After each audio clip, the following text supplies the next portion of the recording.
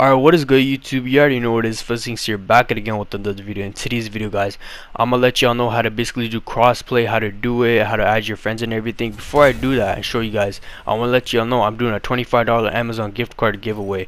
Link in the description, go sign up right now and enter. I'll announce the giveaway winner around October 26th or probably the day after. So make sure y'all go sign up and let's get right into the crossplay, how to add your friends.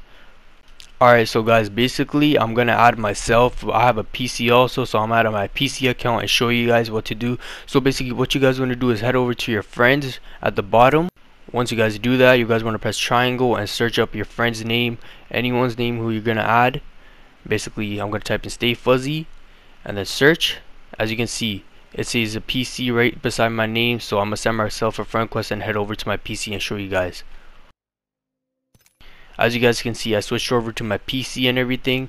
So basically I'm gonna log in and I should get the friend request. Even if you're logged in in the game and you guys are at the lobby you guys should just receive a friend request like that. And what you guys do is press Y on PlayStation should be X. So basically I just added myself and when I go to my friends as you can see I'm there with the controller. I'm gonna invite myself. I'm gonna join myself I'm back on my PS4. I'm going to join my PC account. As you can see, I received a party invitation, but I joined my lobby because it was open. So I joined him. As you can see, we are playing. This is crossplay. I'm on PS4. He is on PC.